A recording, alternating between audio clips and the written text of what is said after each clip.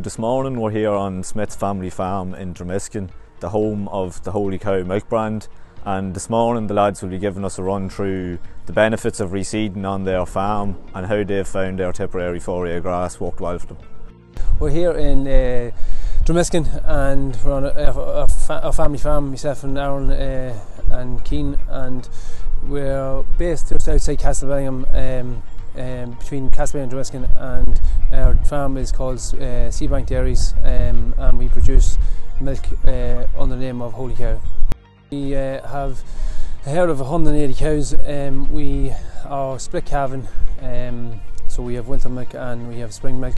Uh, majority of our cows calve in the spring, with the rest calving in the winter. Main driver of our system is grass. We're uh, lucky to have a very dry farm here. We probably get the cows out for 285, 290 days a year. We get them out in late January, early February, right up until the middle of, middle of November. Uh, it's we try to do as low cost as possible so it is and, and by that I mean getting as much grass into into the cows as possible. Currently we're, we're trying we're growing about maybe 15 tons of dry matter grass per year across the farm. I'm hoping to improve that a wee bit more through reseeding program we've started in the last three, three or four years and alignment program as well. We started using 4A uh, about three or four years ago and uh, we were more than happy with it with the clover established in it as well and from the research down in Moorepark, clover is going to play a huge important role in dairy farms going forward.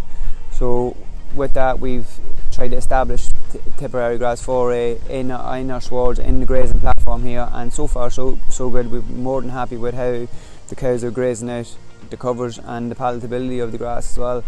Uh, you seem to cows seem to when they go into the paddocks with the new 4A they do go up a wee bit in milk so they do because of the fresh grass. For more information about the grass contact your local Agritech sales advisor or visit www.agritech.ie.